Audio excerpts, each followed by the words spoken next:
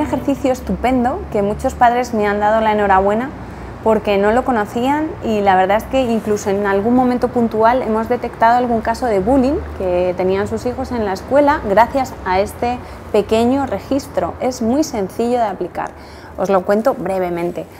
Eh, Paul Ekman es el psicólogo que estudia todo lo que es eh, la expresividad a nivel de expresión facial, toda nuestra cara, como un gesto y otros son diferentes, cuando estamos tristes, cuando estamos alegres.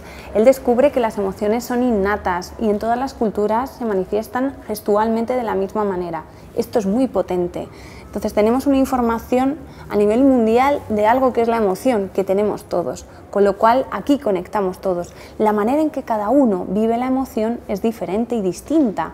Cada niño puede sentir ante el miedo una respuesta, hacer, perdón, una respuesta u otra. Entonces, lo importante aquí es saber cómo mi hijo siente esa emoción. Por ejemplo, hay emociones que son agradables, como la alegría y la sorpresa, y hay emociones que son desagradables, como el enfado, el miedo, el asco y la tristeza. Se las denomina desagradables porque tus sensaciones corporales son más desagradables y son fácilmente reconocibles y entonces lo que este ejercicio quiere hacer es decir, a ver, le voy a preguntar a mi hijo cómo se siente cuando tiene miedo o cuando tiene un enfado cómo directamente él lo nota en el cuerpo. Gracias a ir al cuerpo, el cuerpo nos va a dar mucha información. Por ejemplo, no es la misma energía la que se tiene cuando se está triste que cuando se está enfadado.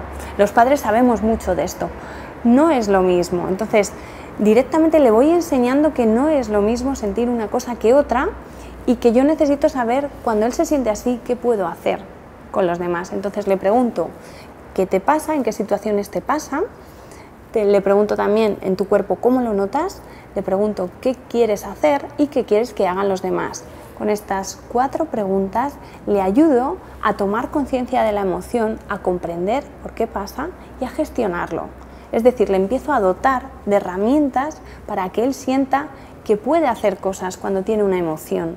Le estoy educando emocionalmente. Es breve, y además ayuda mucho al diálogo emocional, que es algo que a veces se pierde y nosotros como padres tendremos que ser los primeros que digamos yo me siento así cuando me pasa esto, para que él empiece a asociarlo y nos cuente más fluidamente.